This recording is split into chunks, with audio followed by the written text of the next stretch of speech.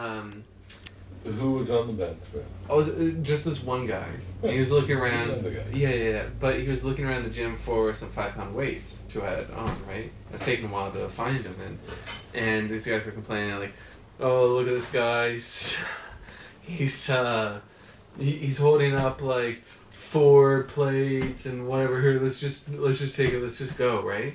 And so they started doing their sets or whatever. and The guy comes back, and the the the blonde dude who like led the like takeover starts like not getting up in his grill, but conflict, generating conflict, and saying like, "Well, you're taking forever. We got stuff we got to do. We want to get through this and this kind of thing." Like as though. As, as though anyone uh, has to integrate other people's like schedules when it comes to like using the gym equipment. And the guy's like I was looking for these weights. I couldn't find these weights. It was like well whatever right? And we're just gonna do this set and you can come back or or it was it was weird and uncomfortable.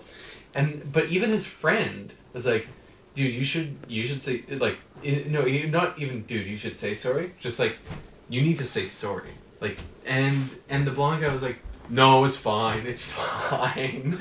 Like as though he knows the other guy was cool with it. But yeah he's he's he's a jerk. And um yeah i don't know. I, i'm just glad they haven't started like uh, bullying us. But like looking around there's some people like not using the equipment right. Like your pullbacks number one like source of injury. Like that's an awful exercise to do because so so many people do it with way too much weight and just totally like screw themselves up. but there was this one guy he was working alone and, and so he's got the pull thing and you're supposed i guess you're supposed to go like this but he's got the weight so high that first he pulls like all the way back to gain some momentum like this and then it's like he sneaks his head back and then and then does it again and I, I me and matt are on the treadmill and i just look at this guy and then i look at matt and then matt looks over and he's like yeah exactly because we've talked about like how don't do that exercise and stuff and How, well, why not do that exercise?